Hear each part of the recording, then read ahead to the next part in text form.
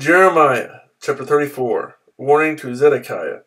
While Nebuchadnezzar, king of Babylon, and all his army, and all the kingdoms and peoples in the empire he ruled were fighting against Jerusalem and all its surrounding towns, this word came to Jeremiah from the Lord. This is what the Lord, the God of Israel, says Go to Zedekiah, king of Judah, and tell him, This is what the Lord says I am about to hand the city over to the king of Babylon, and he will burn it down. You will not escape from his grasp, but will surely be captured and handed over to him. You will see the king of Babylon with your own eyes, and he will speak with you face to face, and you will go to Babylon. Yet hear the promise of the Lord. O Zedekiah, king of Judah, this is what the Lord says concerning you. You will not die by the sword, you will die peacefully, as people made a funeral fire in honor of your fathers, the former kings who preceded you, so they will make a fire in your honor and lament, Alas, O Master, I myself make this promise, declares the Lord. Then Jeremiah the prophet told all this to Zedekiah, king of Judah, in Jerusalem, while the army of the king of Babylon was fighting against Jerusalem and the other cities of Judah that were still holding out, Lachish and Azekah. These were the only fortified cities left in Judah. Freedom for slaves. The word came to Jeremiah from the Lord after King Zedekiah had made a covenant with all the people in Jerusalem to proclaim freedom for the slaves. Everyone was free, his Hebrew slaves, both male and female. No one was to hold a fellow Jew in bondage.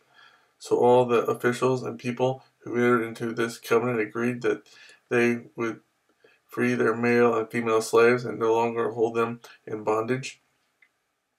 They agreed and set them free, but afterward they changed their minds and took back the slaves they had freed and enslaved them again. Then the word of the Lord came to Jeremiah. This is what the Lord, the God of Israel, says I made a covenant with your forefathers when I brought them out of Egypt, out of the land of slavery. I said, Every seventh year, each of you must free any fellow Hebrew who has sold himself to you.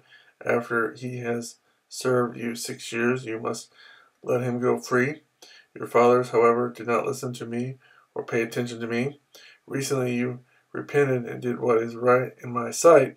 Each of you proclaimed freedom to his countrymen.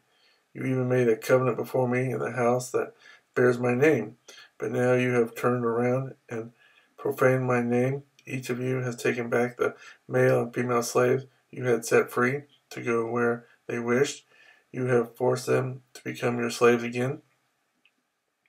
Therefore, this is what the Lord says You have not obeyed me, you have not proclaimed freedom for your fellow countrymen, so I now proclaim freedom for you, declares the Lord freedom to fall by the sword, plague, and famine. I will make you abhorrent to all the kingdoms of the earth.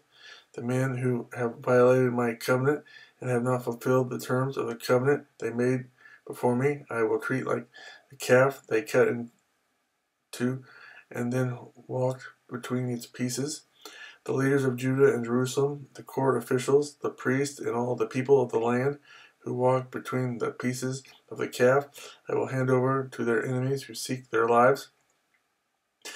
Their dead bodies will become food for the birds of the air and the beasts of the earth. I will hand Zedekiah, king of Judah, and his officials over to their enemies who seek their lives, to the army of the king of Babylon, which has withdrawn from you.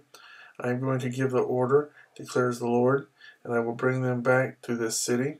They will fight against it, take it, and burn it down, and I will lay waste the towns of Judah, so no one can live there.